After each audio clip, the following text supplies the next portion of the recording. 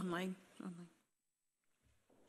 Good morning and a warm welcome to the 10th meeting of the Constitution Europe External Affairs and Culture Committee in 2024. This morning we've received apologies from uh, Kate Forbes. Our first agenda item is declaration of interest and as a result of membership change um, I would like to invite Megan Gallagher, to, who joins the committee, um, to declare any relevant interest. Thank you very much, Convener. I'm very much looking forward to working with you all in this committee and I don't have any declarations of interest just now, but should that change, I will notify yourself and the clerks. Thank you. Thank you very much. Um, our second agenda item is taking, uh, decision taking business in private. Our members content to take agenda item four in private. Thank you.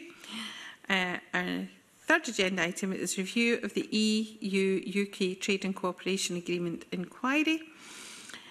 Our next agenda item is to continue to take evidence on the committee um, inquiry. And this week we're focusing on the Windsor framework, including what it means for Scotland and Scottish business and its wider implications for the forthcoming TCA review. Um, this morning we are joined remotely by Stuart Anderson, Head of Public Affairs, Northern Ireland Chamber of Commerce and Industry.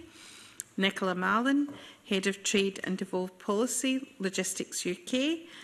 Stephen Kelly, Chief Executive Manufacturing Northern Ireland. Uh, a welcome to you all and um, particularly to Stuart and Stephen who I know have taken part in our, our committee work in the past. Uh, so thank you very much. Um, we do have apologies from Simon McKeever, Chief Executive of the Irish Exporters Association, who couldn't be with us uh, um, this morning. Um, so perhaps I could open with a question um, really um, to, to gauge what the experience has to, been to date of the rollout of the Windsor framework and what do you see as the key challenges on the horizon? And if I could maybe start with Ms Mallon, thank you. Um, thank you, and I want to thank the committee for the opportunity to, to give evidence to you today. I suppose in terms of the logistics sector which we represent, our members tend to fall into three groups. So those who are most impacted currently are those who are moving goods GB to NI under the green lane. We have uh, another group of members who would move SPS goods through the red lane um, and they will be impacted by um, any UK-wide application of the not for EU labelling, and I'm sure we'll come back to that. And then we have a larger group of members who um, will be impacted by subsequent changes under the Windsor framework from the 30th of September this year in respect of customs and parcels. In respect of um, movements through the Northern Ireland Retail Movement Scheme, um, it is still um, relatively early days. But I suppose what we're starting to see emerging are some of the tensions between legal text being drafted and agreed and hitting the rubber of, of the real world. So, if I give you an example, um, if we take supply chains, particularly for just in time produce, um, they're highly complex with multiple different um, actors. Um, and they're moving huge volumes across from GB to NI, and products are continually changing, and branded suppliers have a degree of autonomy in this process as well. And there can be, on occasion, just genuine human error where you have a lorry uh, is stopped at a port in Northern Ireland, the packing list is checked, and there is a product that doesn't exactly match uh, the packing list and what is on the back of the lorry. As a result of that, a lorry can be held for several hours, which has implications for the driver, uh, the haulage operator's schedule, and staff at the depot who the, the load is going to, and then the knock on implications when that has to get out to retail stores and on shelves um, for customers. Um, and what we're keen to see is that when these types of uh, issues emerge, when it's uh, genuine error or when it's not always possible to provide the granularity of detail in real time, that we have, based on trust, a pragmatic approach to trying to resolve those issues um, swiftly. Um, and we're continuing to work with our partners in DAERA and DEFRA and within the EU as well.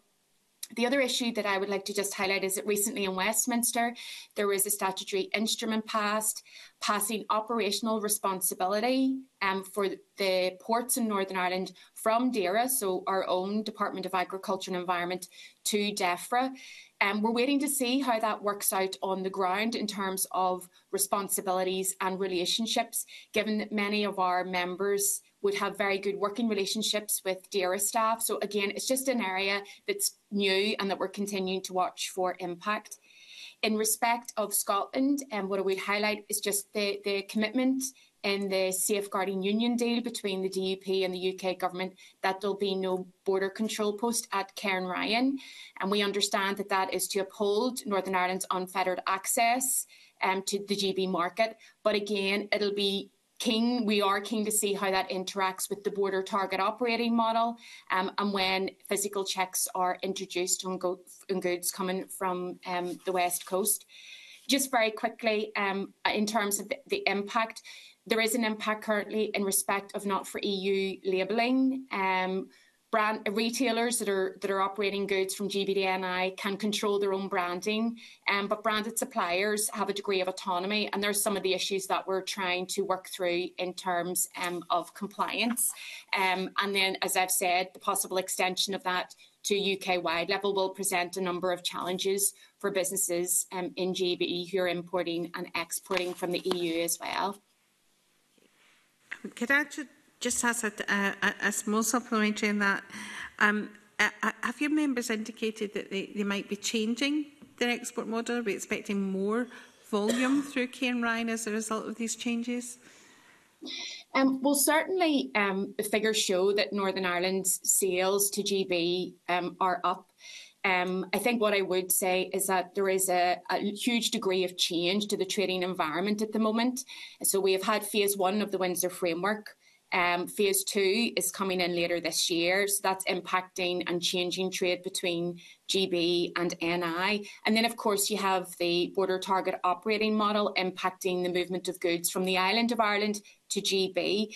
Um, so I think for us, it's a situation of, of wait and see, but certainly the feedback from our members is there is a significant impact in terms of the cumulative changes on trading. And obviously, as a result of inflation and other operational pressures, the cost of doing business is a, is a challenge for them. Thank you very much. Um, Mr Anderson, do you want to...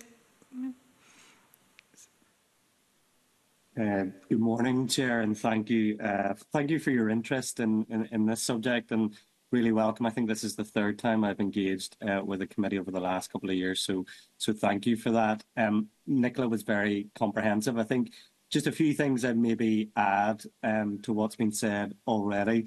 I think, um, as Nicola rightly indicated, we've only had phase one of the rollout uh, in October uh, 2023, and that was principally directed towards the retail um, movement scheme. I think in terms of customer experience, uh, there will not have been a substantial amount of change um, to date, and I think that that is a is a positive. And um, that is a that is to the credit of the supply chains for continuing to work um, extremely hard against what were last summer incredibly challenging deadlines. And I think um, lessons need to be learned about um, how challenging those deadlines were. Um, we as the NI Chamber use, I guess, a number of tools for measuring member sentiment um, around uh, the implementation of, of the Windsor Framework, amongst many other things. Um, and we did that at the end of 2023. And again, usual caveats and, caution applied. But just notably, whenever it came to the issue of buying goods from, from GB, which is uh, which has been the sticking point, uh, for want of a better expression, in terms of, of post-Brexit trading arrangements. Um, in terms of the, the data coming out, um, a majority were saying that they found it either manageable or easy. 37% saying um, that they found it manageable, but around 31% were saying, a significant minority no less, were saying that they uh, still found it difficult.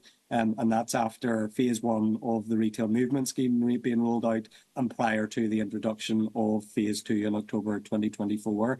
Um, I, I, think anecdotally, when you start to, to, to work at a, sector to sector level, um, there are challenges for the carriers that, that Nicola has identified because they're at the front end um, of the movement of goods, particularly those red lane goods for whom there, there's very little change really in relation to um, in relation to, to, to, to the movements between GB um, and Northern Ireland, say for some uh, clawback through tariff reimbursement and, uh, and other schemes, uh, which will which will come on to.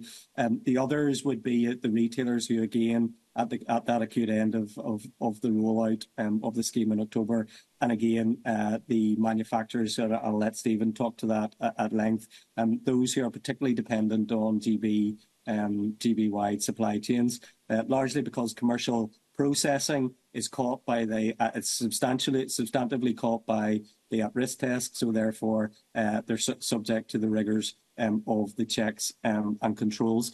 Having said all that, um, there are those who the stability and certainty have, have has brought um, real opportunity. Um, I have a number of members, anecdotally, to, to who um, have have really seen the stability brought around over the last couple of years and improved relationships um, to begin to look towards the opportunities. Um, for example, I've seen uh, an agri-food firm relocate its manufacturing presence from GB um, to Northern Ireland because of the barrier-free trade um, with Europe. I have another member who who uh, who is in the consumer products industry um, and is able to access both markets and avail of those through online online platforms and has seen their sales um, increase quite substantially over the course of the next over the last uh, number of years. And I think um, it, really is a case by case analysis, and, and I think there are uh, no th th there is no fixed case um, of, of of experience whenever it comes to the rollout of the Windsor framework. Notably, when it comes to what are the outstanding challenges, what members identified were the, key, were the key challenges, and I think context is really important here too. Um, we are in an SME-dominated economy, much like Scotland, although it's a bit a little more acute here. Um, I think it's as much as 99% of our businesses have less than 10 employees. Um, so it is no surprise, therefore, that the number one ask by more than half of our members was that the guidance needs to be clearer. And I think sometimes there's a disconnect between those engaged in policy and those engaged in real world implementation. The second issue that came up was a turn in terms of the efficiency of the new processes. So things like the tariff reimbursement scheme or registration for the UK internal market scheme. Whilst, whilst there has been a significant uptake in terms of UKIM applications uh, from the previous UKTS, uh, UK Trader Scheme, apologies for all the acronyms, um, uh, whilst there has been a, a, an uptake, uh, members would note that it is just quite uh, bureaucratic and, and quite challenging to to get over. And then the final uh, basket of issues in terms of the top three is in terms of managing divergence. And I guess the one that would come up uh, repeatedly at the moment is the management of emissions trading. So you've got EU CBAM, which Northern Ireland is not part of, um, and, and the EU would have to request through the Windsor framework that Northern Ireland becomes part of it. And you've got the current consultation going on in respect of the, the UK um, UK CBAM uh, scheme, which which of course looks slightly different in terms of scope and application as, as to what it does in the EU. So given our interdependence on both markets, um, that is uh, a case in point uh, of, the challenges that are ahead. So um, I, guess look very much the mixed bag. You were dealing with a protocol um, that was substantially not being implemented against the Windsor framework, where you have uh, both sides committed to implementation. So the dynamic is slightly different than what it was a number of years ago. That's great. Thank you, uh, Stuart. Um, Mr. Kelly, you come in? Um, one of the benefits of following behind two uh, excellent colleagues is it leaves you very little to say uh, that can add value uh, to the committee. So I'm very grateful for both of them contributions to to leave me in this place. The only thing I would I would add is that what was the purpose of the Windsor framework? It was two purposes. The first was to, of course, deal with the issues that were identified by traders and others in terms of the operation of the Northern Ireland Protocol uh, and find agreement where the UK and EU potentially were looking at conflict with each other. And the second purpose was actually to uh, try to uh, create a basis for our politics to settle and for our executive to reform. And we've seen that. Obviously, there's been additional work and documents safeguarding the union, etc., etc., etc. But some 90 or so days ago, our Northern Assembly and Executive did return We have ministers now in place here taking decisions on behalf of the economy. Uh, the, for the first time in a number of years, we have a budget approved by the executive, which gives clarity and certainty for departments in terms of their own spend and uh, their own programmes. Uh, but more important than all of that, politics sets the mood for the people. Uh, yes, politicians are there to make decisions or hold uh, ministers to account. They're there to uh, intervene whenever crises appear. They're there to try to introduce policies that, that change uh, change the, the operating environment for businesses and, and citizens. But fundamentally, the politics sets the mood, and particularly in a place like Northern Ireland that has had such fractured politics for so long. Uh, so when I talk to my members, uh, perhaps their expectations about what our politicians can do are, are muted. But more important than anything else, they are very, very grateful that our executive is back with ministers in place. Relationships have improved, and we can begin to have a stable basis on which to work forward. Okay, that's great. Thank you very much. Um, I'm going to move to questions from committee members. I've got Mr Ruskell and then I'll come to Mr Stewart. Yeah, thanks, convener. Um, I just was reflecting on, on your comments there and thinking in particular about Ken Ryan. Um, what, what practical changes do you think might be needed in, in the way that Ken Ryan operates the facilities that it has? Um, I mean, I note the fact that you know there will be no no border at, at Cairn Ryan, but given where we are in terms of border checks and uh, agreements what, what do you think might need to change to meet the needs of your members going forward at Cairnryan? Stephen, do you want to come back in? Yeah, I, I can begin. Uh, we there's a very famous video of a former UK Prime Minister waving at a reception, waving a piece of paper and saying, "Should anyone uh, ask for any paperwork, phone number ten and put the the paperwork in the bin." So that that's been a commitment that has been given by the UK government that there would be no change to the operation of how goods from Northern Ireland would travel to the rest of the UK marketplace. And it's been a really important part of uh, the work that we as a business community have done is to ensure that whilst we could have that dual market access, that one part of that dual market access was continued unfettered access into the rest of the UK marketplace. So actually not having those physical checks not having those controls at the point of arrival from Northern Ireland into Scotland at Cairnryan is really important for us. what we are still unclear of is uh, we don't want a scenario where Irish customers or Irish businesses are driving through Northern Ireland and getting to that point of control and having the same benefit that Northern Ireland has. Dual market access is meant to be for Northern Ireland and Northern Ireland only. Uh, it's not meant to be uh, for Irish businesses. So we have this dilemma where, uh, by necessity, we need to have that open, unfettered access into Scotland and into the rest of the UK marketplace. But at the same time, we do require some control so that it isn't a backdoor for our competitors elsewhere on this island to actually just drive past us uh, and into that marketplace. Uh, our colleagues in agri food were pretty insistent that that they would welcome some control. They were pretty insistent that, uh, whilst there may not be the necessity for border control post, uh, there would be other controls put in place that would make it more difficult for Irish competitors over Northern Irish customers uh, to, to actually serve that UK marketplace. Uh, what that looks like in practice uh, in the long term is unclear.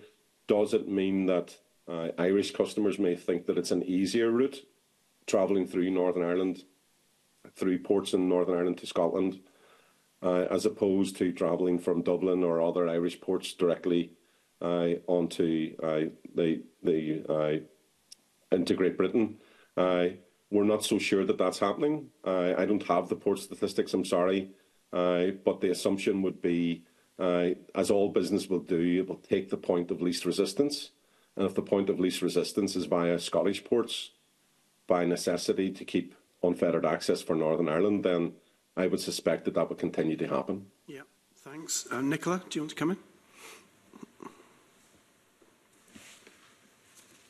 Yes, thank you.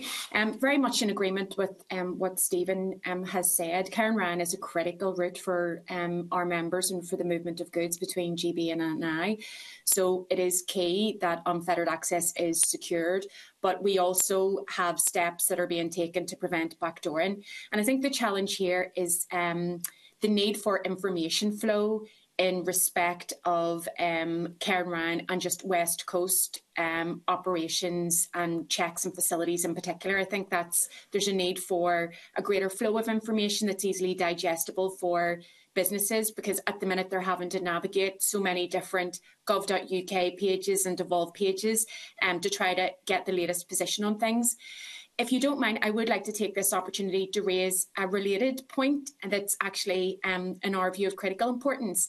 And that's about the increasing shortage of crew to service the domestic ferries serving GB and NI.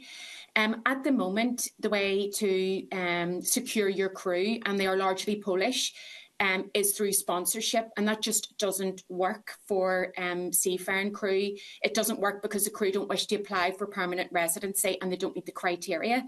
So that leaves the frontier worker permit as the only option, and it has a stipulation that um, the applicant must have worked on a domestic ferry prior to EU exit. So the further we get from the date of EU exit, the less crew there are available to meet this criteria.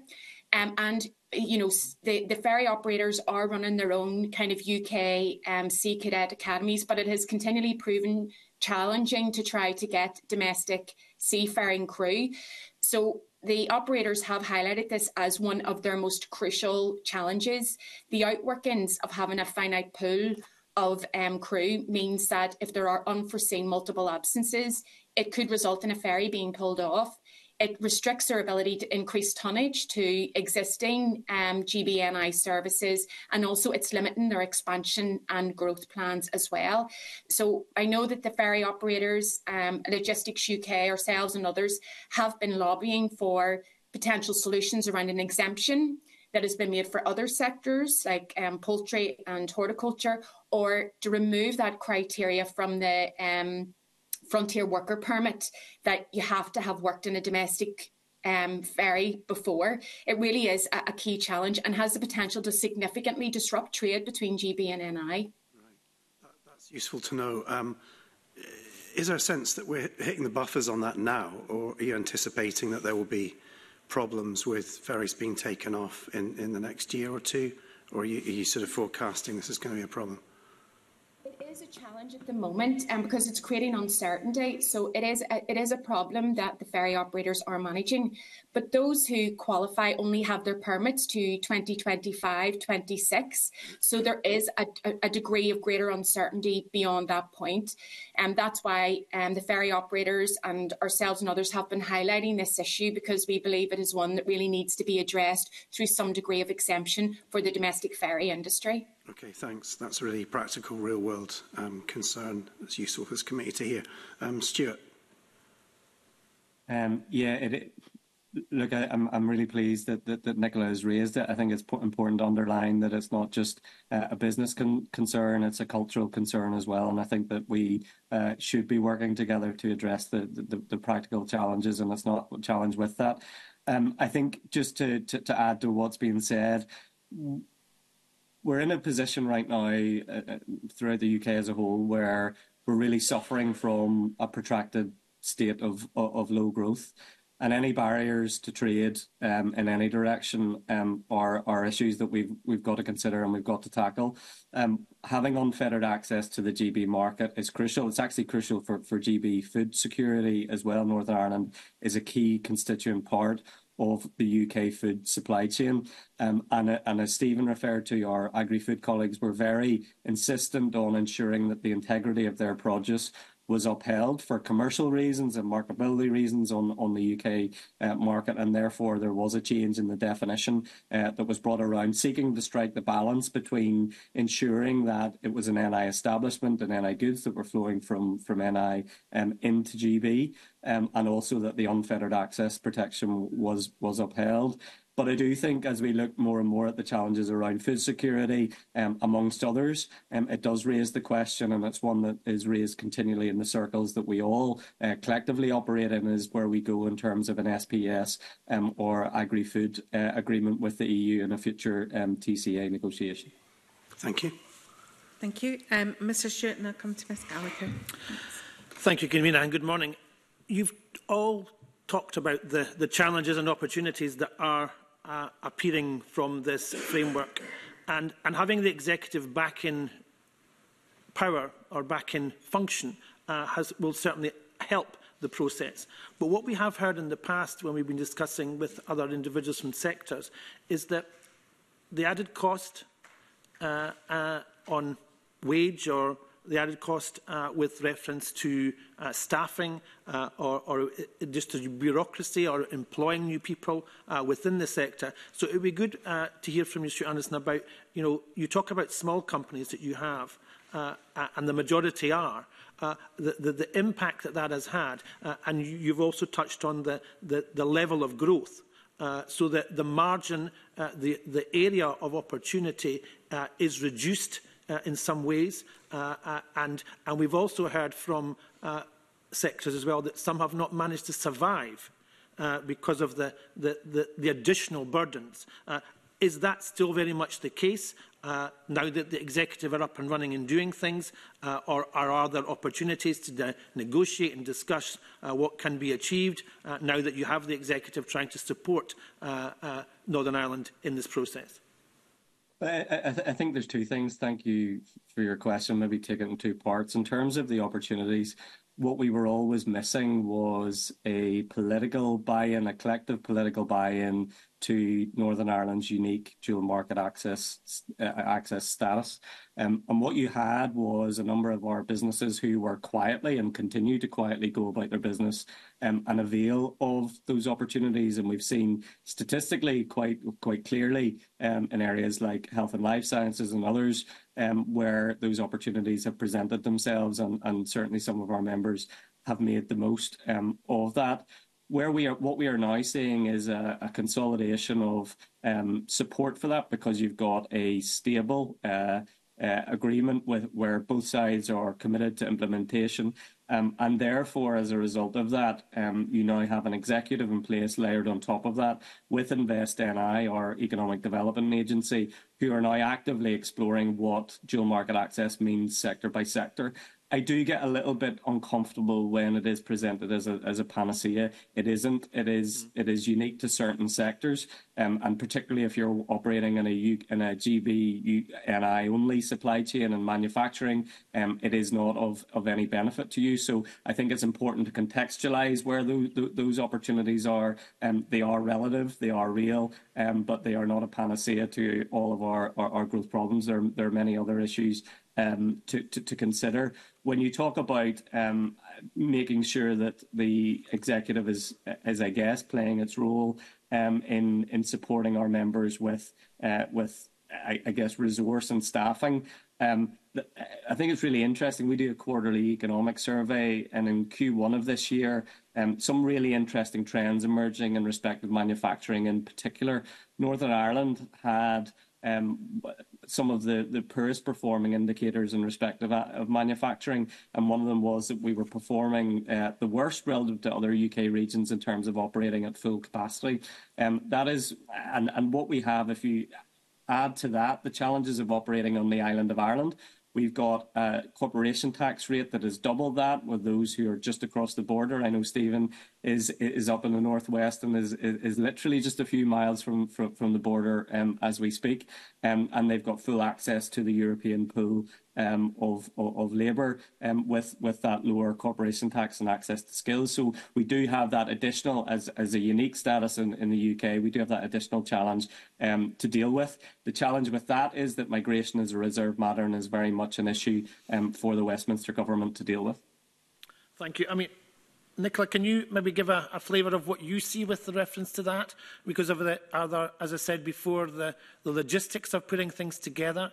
Uh, you've already touched on this morning the, the potential that you have with the ferries. Are there other areas within other sectors that are having that same potential problem that you see coming down the road uh, when it comes to visa, when it comes to staffing, or when it comes to uh, just the logistics of moving in people around and moving individuals, plus uh, the commodities that you have to deal with? What I would say um, in respect of the logistics sector is that we had um, a very well documented shortage of drivers not that long ago. Um, our feedback from members is that that has eased um, somewhat, but there is a challenge around the recruitment of mechanics and technicians. That continues to present a problem um, to the logistics industry um, in Northern Ireland and, and right across GB. And that is um, without the advancement of technology and alternatively fuel vehicles as well, which will require a whole new skill set as well that we need to be nurturing and development uh, developing and getting ready now. Um, so they would be the key pinch points um, in terms of workforce challenges and capabilities.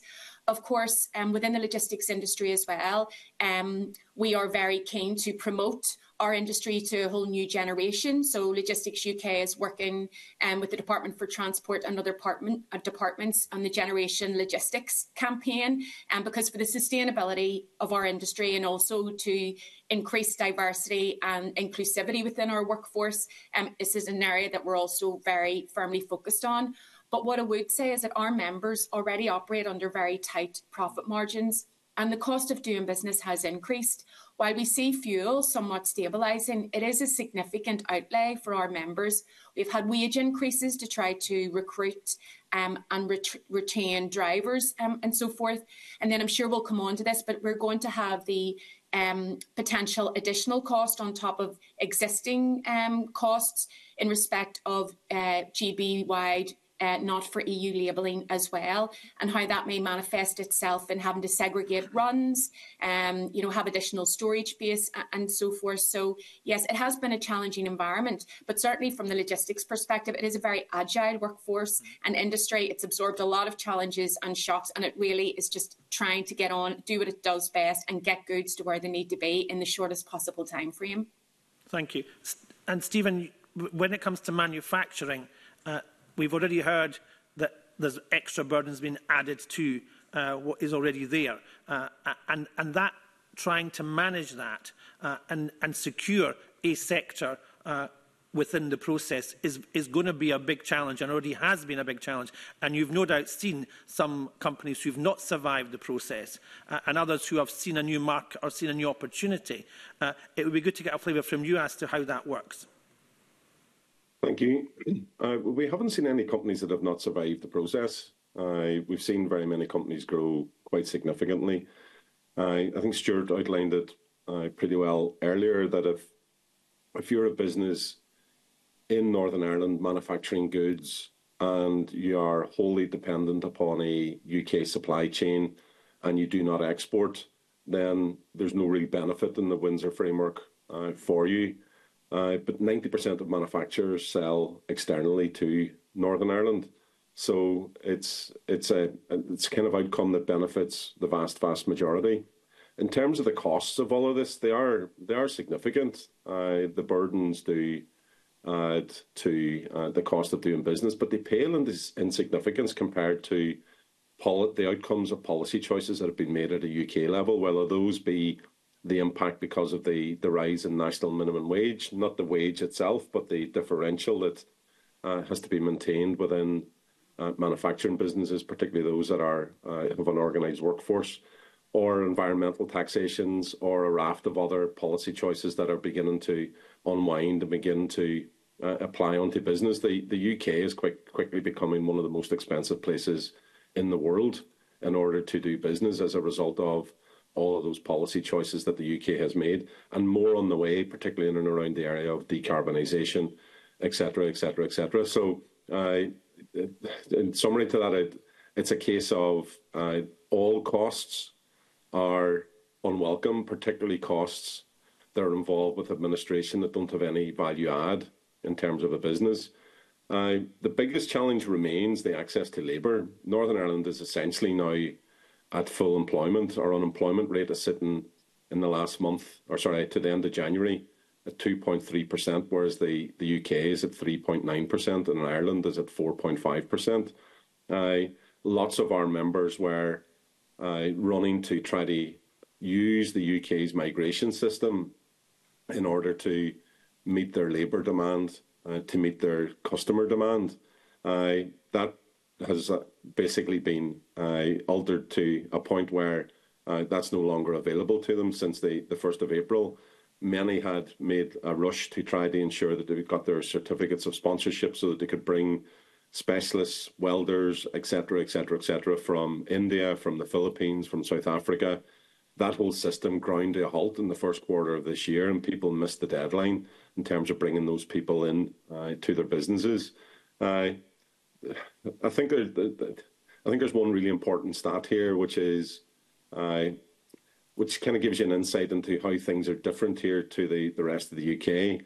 Uh, our economics uh, research agency just published some information at, uh, in March where it showed that the Northern Ireland economy is six, just short of six percent larger now than it was pre-pandemic, whereas the UK is just over one percent larger than it was pre-pandemic. That's an indicator of Northern Ireland's. Uh, it's an indicator of a healthier Northern Ireland economy than it is in terms of the rest of the UK economy. Thank you. I'll bring Ms Gallagher and then Mr Vivian. Thanks. Thank you very much, Convener, and good morning, panel. Um, I was hoping to pick up on the concerns relating to the supply of veterinary medicines. Um, I know that discussions are ongoing in this matter, but I'm just wondering um, if the panel could provide an update on any progress that's been made, the engagement um, between the UK government, the European Union and, of course, people within that sector, um, and perhaps even the, the role and remit um, of the Northern Ireland Executive and Assembly, just in terms of monitoring progress and trying to come to an agreement on the, the issue of veterinary supplies. And I'm wondering, um, Stuart, if you perhaps have any insight into this. Um, a, a, a little, I must admit, um, it, I, I'm not actively involved in it, but I do have some kind of, uh, I, I, I guess, some information which which will hopefully help your your analysis. Um, I, I think there are divergent views both within the UK and, and Europe as to what the current um, what the current grace period is for. Um, and I think that that is a a challenge in itself. I think the EU's position is very much we have until 2025 to shift to EU supply chains, um, whereas I think the U.K. position, and certainly a position of industry, um, is one where we've got to work collectively to resolve the reality that there is an interdependence um, a food security issue and also a human and animal plant and or an animal and, and human health issue um, with the interdependence that we have both on um, the the UK and the EU market with particular reference to the Republic um, of Ireland. As for the position that's been taken, it is welcome to see steps with safeguarding the union and the, the command paper um, that a working group has been established. Um, I don't sit on that working group and, and can't give too much insight into to where it's got to. Um, I do know that there are politicians sitting on that, uh, the Ulster Farmers Union, um, and from a Northern Ireland executive perspective, I know that our, our chief vet and also our uh, Minister for Agriculture is actively um, involved in that working group. it is an issue that comes up um, repeatedly. It's an issue that I think, uh, whilst a veterinary agreement um, would not uh, suffice in terms of being the solution to the problem, uh, I do think it sits in that basket where it requires a, a common approach of both the EU and the UK um, to, to, to resolve in the interests of everyone. Thank you. And I'm just wondering, uh, Nicola or Stephen, I don't know if you've got anything to add to what Stuart's just said. Yeah, just just a, quick comment to add to it. It's not an area that we directly engage with, but I think this is one of the examples where it's actually in the interests of not just Northern Ireland farmers and pet owners, uh, but in the interests of EU farmers and pet owners, specifically in Ireland, to resolve.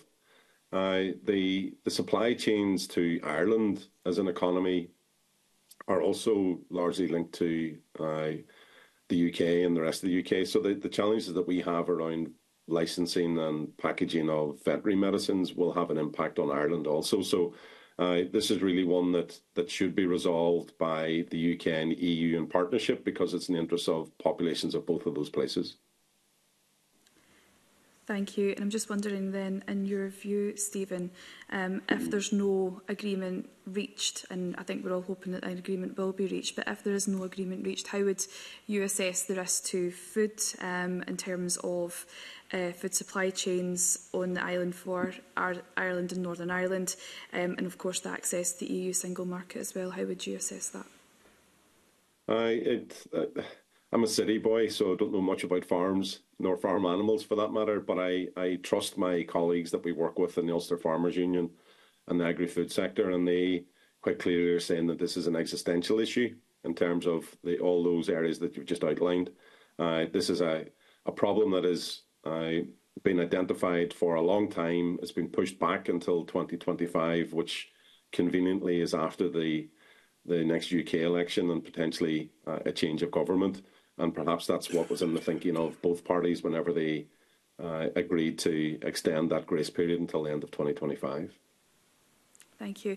Definitely in the interest of everyone then to, to reach an agreement as quickly as possible. Thank you very much, Convener. Thank you. Mr Bibby? Thank you, Convener, good morning to the, to, to the panel. Um, we've heard this morning about um, sales from Northern Ireland being up to uh, Great Britain uh, the Northern Irish economy being 6% larger. I think, Mr uh, Kelly, you said that, um, compared to 1% larger for the whole of the UK um, over recent years. Um, we've heard about the benefits of unique um, dual market access. Um, also heard about it's not a panacea and additional costs as well. Um, we've obviously been concerned about problems facing um, the Scottish economy uh, and, and, and wider GB economy. Um, obviously, there's a number of issues that we've been looking at in terms of you know potential changes, um, close alignment, veterinary agreements, mutual recognition of professional standards.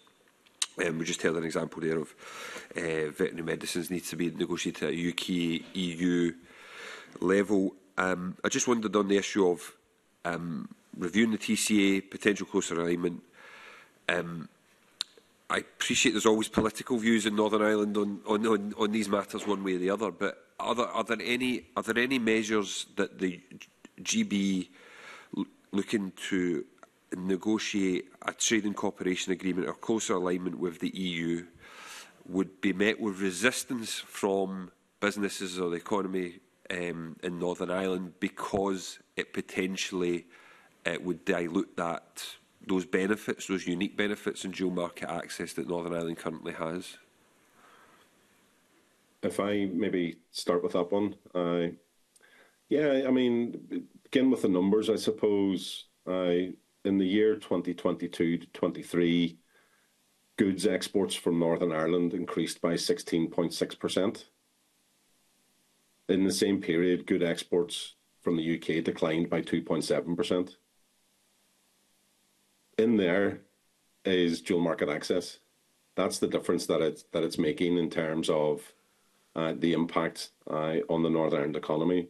Uh, in any adjustments or changes that may happen in terms of the relationship between the, the whole of the UK and uh, the EU, we as a business community want to protect that benefit that we have. That's a that's 16.6% rise as a source of good hard cash from external sources into the Northern Ireland economy that has until now largely been dependent upon the private sector, uh, sorry, on the public sector. Uh, and we need to shift that, we need to move that into one that's creating more wealth because that creates wealth throughout uh, households and homes across Northern. We need more people working in the private sector as opposed to the public sector, etc., etc., etc. Having said that, there is a requirement to review the trade and cooperation agreement that is not working in the way uh, that's of interest to neither the UK nor the EU. Uh, we had engagements with uh, ambassadors from across Europe and consular representatives from across Europe, and European businesses struggle to trade with the UK, which is damaging them. And we know that UK businesses are struggling to trade with the EU, which is damaging them also.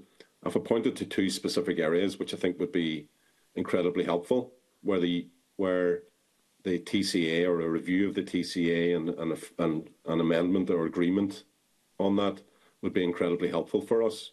The first is obviously in the area of SPS and veterinary agreement, and I can allow colleagues to to talk more about that. That would significantly remove some of those frictions that we've been talking about uh, already this morning, particularly uh, on the GB to Northern Ireland supply chain. The second area is in and around how EU origin goods are treated in the UK. If I give a practical example, we sell lots of kind of engineering equipment. We have members who purchase from a European EU country an engine for that uh, for those products. Uh, that comes from a, a German factory. The factory send it to their sister factory in England, where uh, it travels tariff free. And when it arrives in England, a radiator is fitted to it before travelling to at the German company's own subsidiary factory, uh, where then it travels to Northern Ireland. But because, as far as the EU is concerned, uh, the origin is no longer EU the moment that it leaves its customs union. And because there's not sufficient processing done to it in England to give it a UK origin, it means that it arrives in Northern Ireland with a 4.8% tariff. So despite having dual market access, what we have is EU origin goods at risk of entering the EU and a tariff being applied because it's travelling through Northern Ireland. That's not an outcome that the, the EU, I'm sure, anticipated. It's certainly not an outcome that the EU uh, manufacturers were expecting. It's certainly not what the headline says in terms of dual market access that our goods should be in free circulation and that we should have tariff free, rules of origin free, etc., etc., etc. That's a TCA issue that needs to be resolved. It's also a Windsor Framework Protocol issue uh, that, that needs to be resolved. But it's an example where the TCA, particularly in and around the areas of rules of origin, uh, are not operating in the interests of either EU customers or EU uh, businesses, nor indeed UK businesses. Thank you. That's that's really helpful uh, answer. I don't know if any of the other uh, panel have thoughts on that.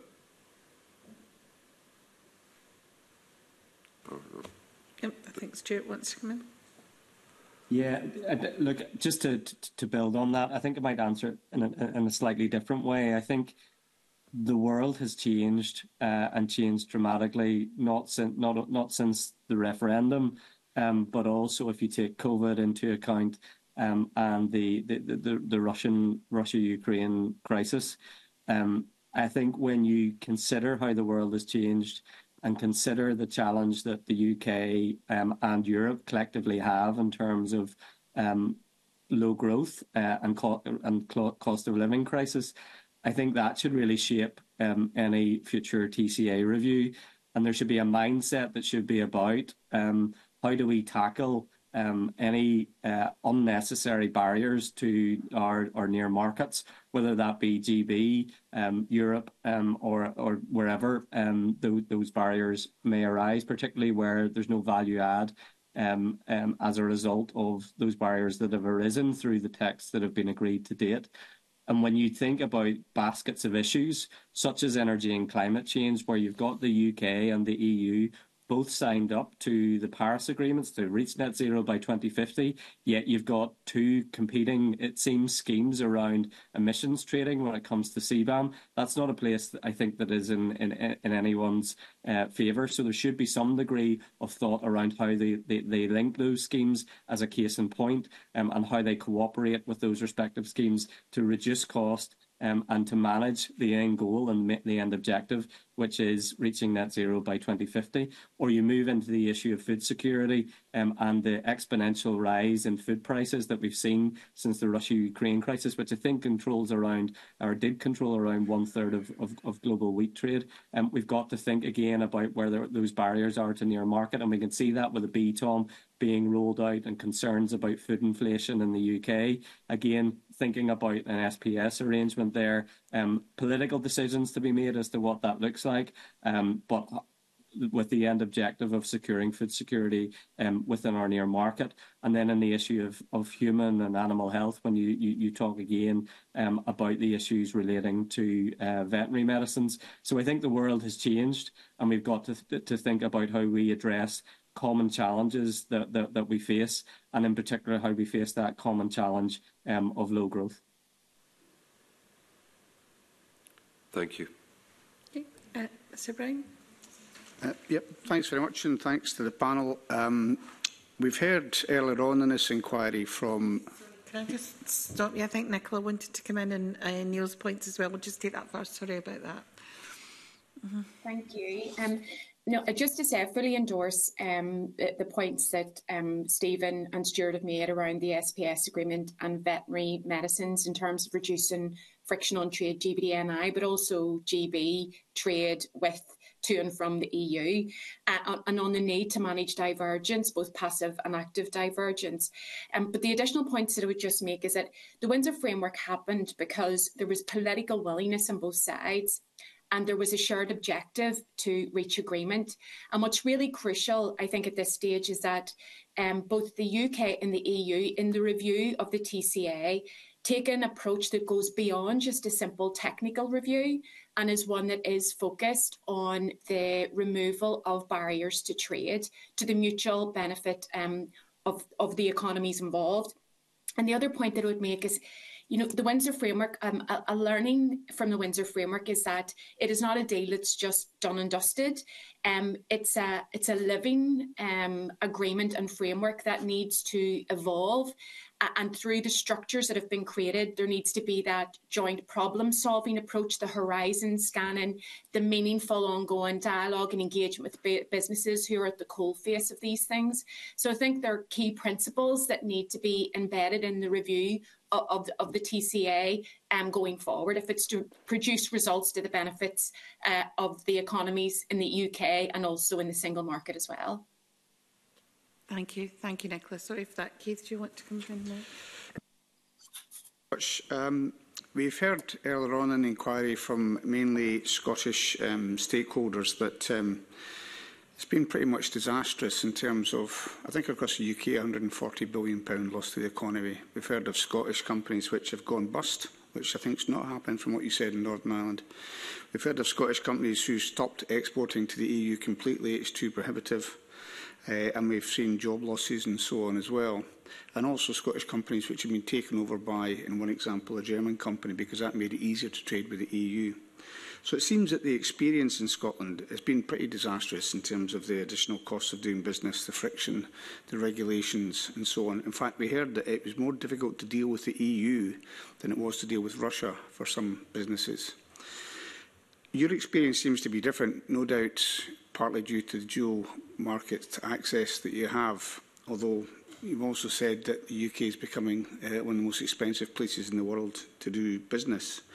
I just wonder, do you think that um, the Windsor Agreement is working where it is working uh, to the advantage of Northern Ireland and thereby the disadvantage of Scotland? Um, we've had, I mean, both Scotland and Northern Ireland, of course, both voted to stay within the EU, um, but you've had very different paths um, since then. And if that advantage is there, um, is that something you would seek to protect in how the TCA evolves? Um, Maybe if, if, I, if I take that one first. Yeah. Um, in respect of the Windsor framework, um, it is a significant improvement on the Northern Ireland Protocol. There are, um, as with all of these things, challenges that will emerge when you have very complex supply chains moving fresh produce. Um, and those are issues that we have to work through in terms of implementation, but taking that pragmatic, solution focused approach that's based on trust and building that trust up over time. Of course, businesses in Northern Ireland will want to protect um, dual market access. But it is true, as you have said, that GB-based businesses and Logistics UK is, is, is a UK-wide trade representative body are encountering barriers to trade in this new post-EU exit trading environment. I think that's come into sharp focus with the border target operating model. The second phase of that has gone live just this week on Tuesday. And certainly we have been concerned about the cumulative cost impact of that with all of the additional charges and fees, particularly on smaller operators and smaller um, importers.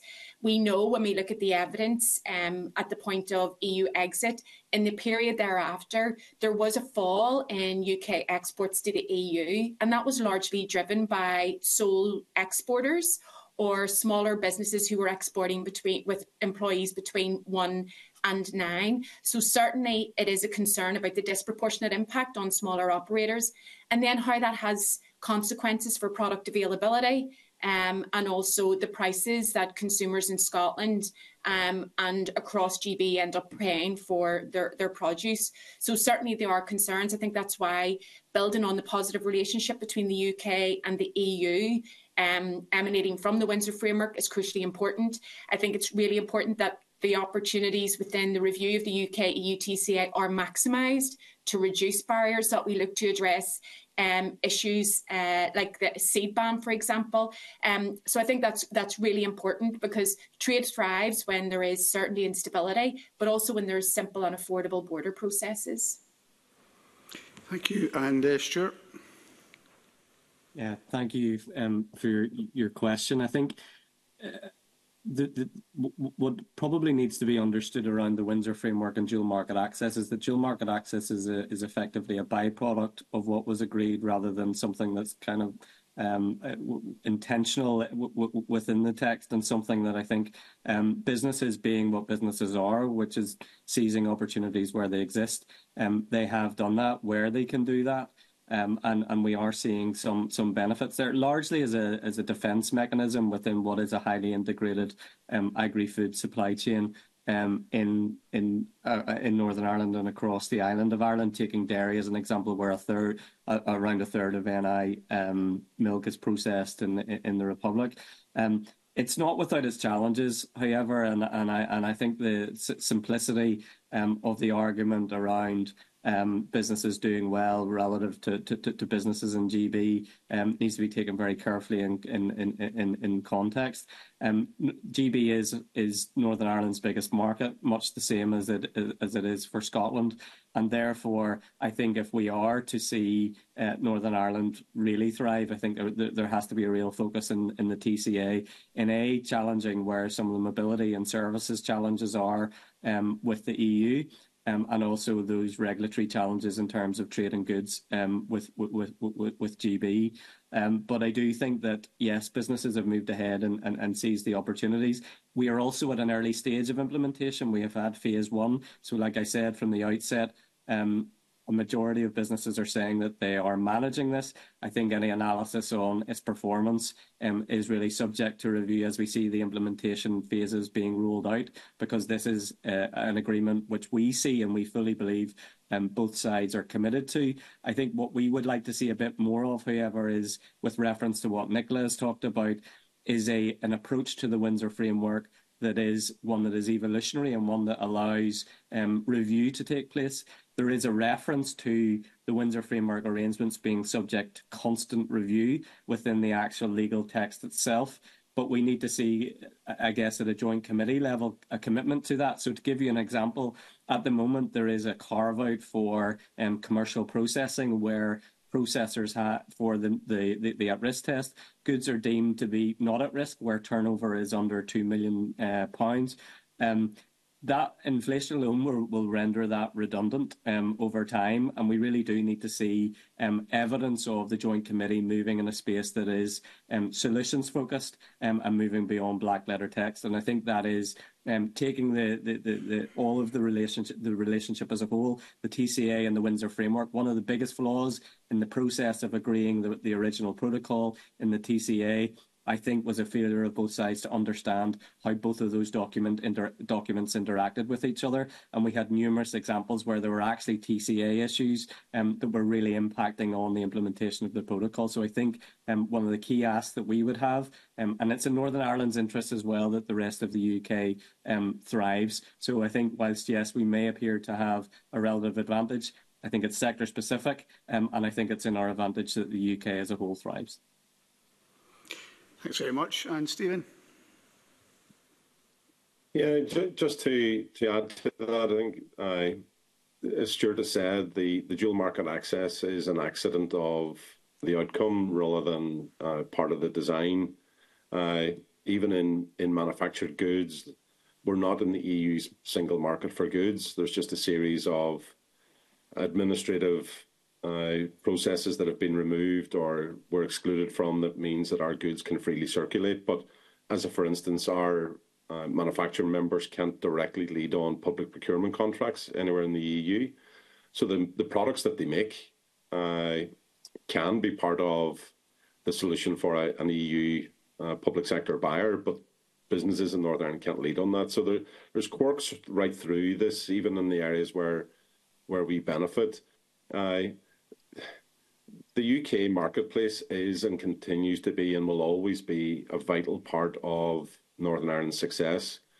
Uh, but equally, geography means that uh, access to that EU market is also critical for us, which is why the business community here were so intent on ensuring that that our voice was heard in terms of a potential outcome of what Brexit would look like.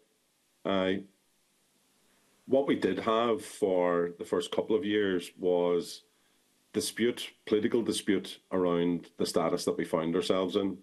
Uh, and what it meant was that investors, for instance, were hearing from uh, from the UK government, from some politicians here in Northern Ireland, that this is the best place in the world to do business, and at the same time hearing from others in the UK government and in uh, the Northern Ireland government that this is the worst place in the world to do business, and that was terribly confusing for them all. But that was a, a kind of political approach that was being taken. What we have now with our new executive is they're all united. Uh, all parties uh, that form the executive are united to ensure that we capitalise on that dual market opportunity. Our Minister for the Economy has set out essentially four pillars around good jobs that are regionally dispersed, driving productivity into industries uh, and decarbonisation. But wrapped around all of that is this dual market opportunity. And he's been very clear uh, to to go out and actually sell uh, that that space that Northern Ireland has found itself in, and all parties in the executive also support that. Now that has been uh, begun to be backed up with good, solid evidence that can be provided to potential investors and provided to people who are keen to trade with Northern Ireland. One piece of work which I think is really powerful is a piece of work that our Department for the Economy is doing around regulatory intensity. So effectively what they've done is they've looked at all EU rules, they've looked at the volume of those EU rules, but they've looked at how far those EU rules reach into either a marketplace or an, or an individual business. And they've created for each industry, but even down into individual product codes, the intensity in which those regulations apply uh, to UK businesses, Scottish businesses trading with the EU that don't apply to here in Northern Ireland.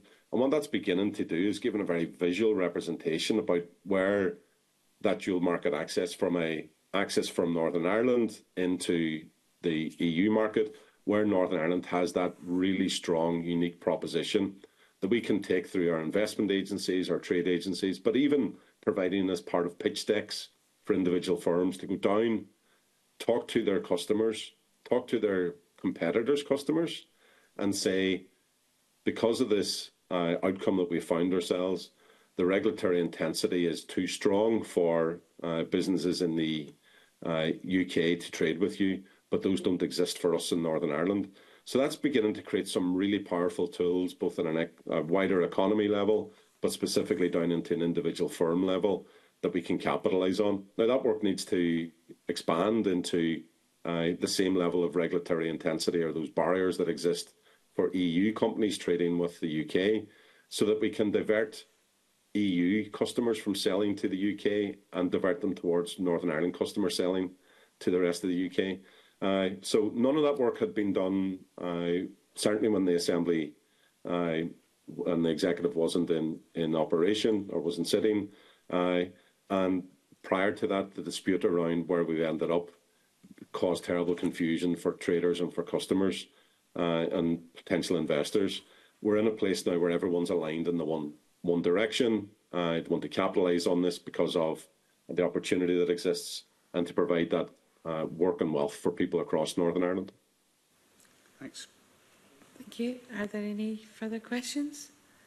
Um, I wonder if I could finish on a question. Um, I um, go to Nicola first on this one. Nicola, you mentioned the change in the position with the Assembly, with the relationship with DERA and DEFRA, and some of those um, uh, responsibilities now moving to the UK government. Um, you also mentioned how important the relationships were in terms of, of building those relationships across with EU colleagues and also um, in, in the UK. So um, we have um, heard on many occasions in this, this um, committee and from colleagues in the other devolved um, parliaments and, and, and assemblies in, in the, the UK that um, it, the political responsibility in getting gov uh, UK government ministers to be agile and responsive and to um, give evidence it ca can be quite difficult. So given the nature of how important this is, um, do you have concerns that those relationships are in place and that when it comes to the review of the TCA that the, the, the UK government ministers involved will have the full picture of the problems and the challenges in Northern Ireland?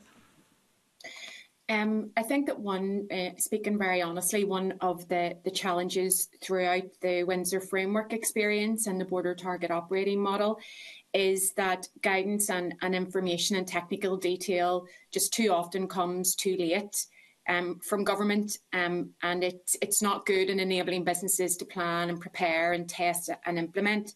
I think one of the associated challenges with that is that the, there is quite a high turnover in terms of ministers and also in terms of officials.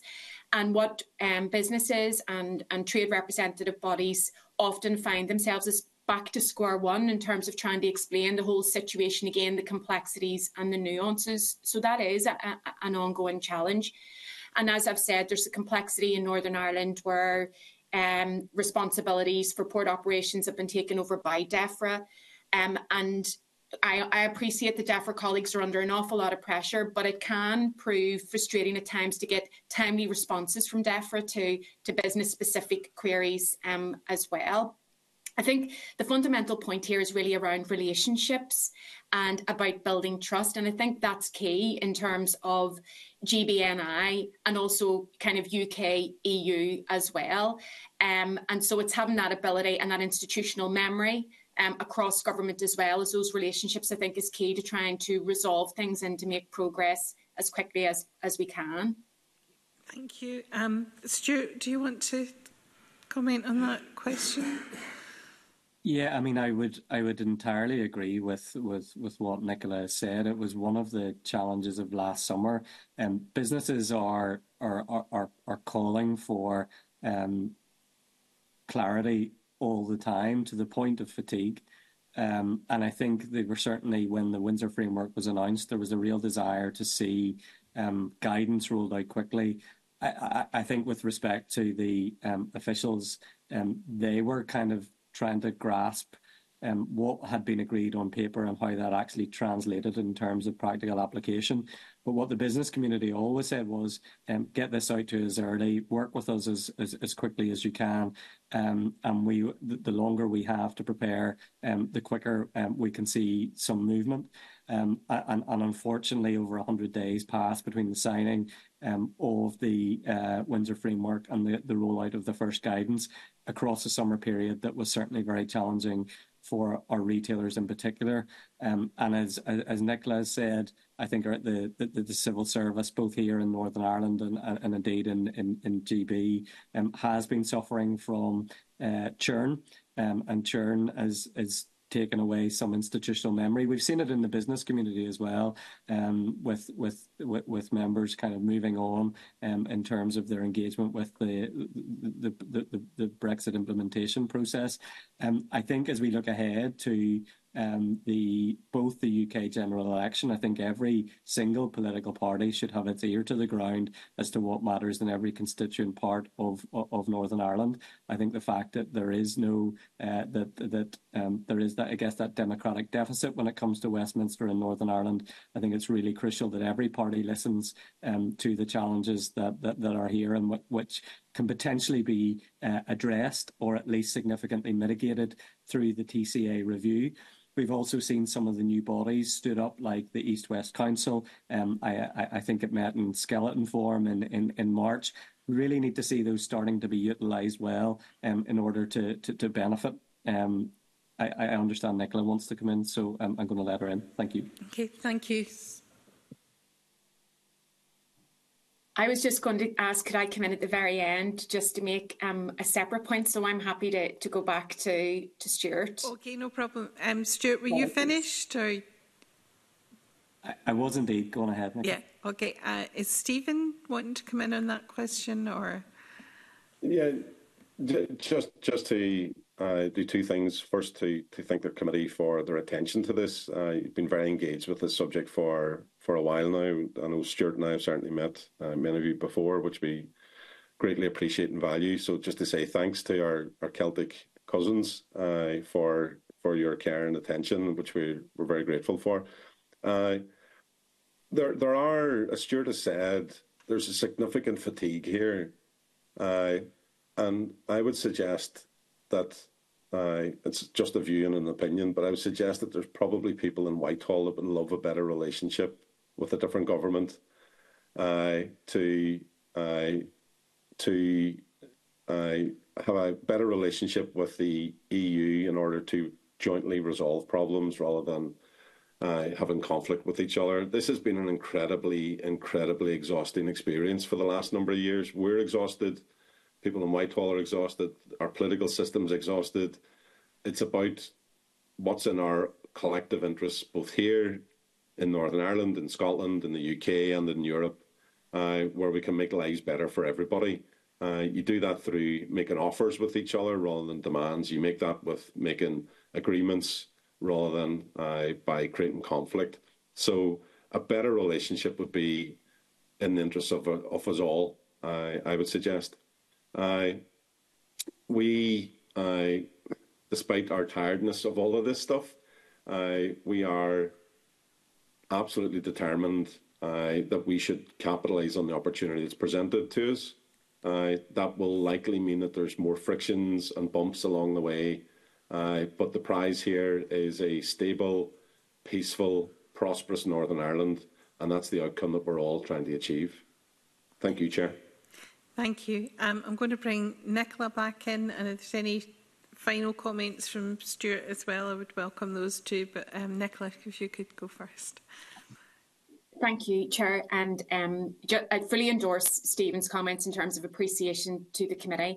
I suppose it would be remiss of me not to just very quickly mention the importance of the A75 in terms of GBNI trade. And I know from our members' perspective, very keen to see kind of upgrade work and parking facilities along what is that, that critical route. So I, I didn't want to have this opportunity to be before the committee and just not, not to raise that particular issue. So thank you for indulging me.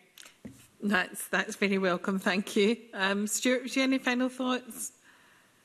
Uh, no, just to say um, and, and to echo the, the, the sentiment, thank you for your continued um, interest in this, and hopefully it's something that we can continue to come back to you on because I think there's a shared interest um, in, in, in achieving those shared objectives. I think there has been uh, a mixed experience. I think that's probably fair to say in terms of uh, the last couple of years. I, there is no doubt that there will be challenges as well as opportunities ahead. Um, but I do think, as Stephen said, if we um, approach it in a collaborative fashion, look at the kind of common common challenges that are ahead of us, um, and, and approach them with trying to um, achieve those those objectives together and having an open mind uh, to understand that sometimes um, black letter law doesn't doesn't necessarily always work in the real world and having an open mind um, to allow things to evolve over time. Uh, I think if we can all get into that space, um, I think we will continue the momentum that's been built up to date. Thank you. Uh, thank you all again um, for your contribution this morning. It was really helpful and I think um, Nicola had mentioned that you know this wasn't a, a an event as such. Uh, we certainly all learned it's a process that's going to continue, so we look forward to working with you again in the future on it. And thank you very much. And on that note, we move into private session. Thank you.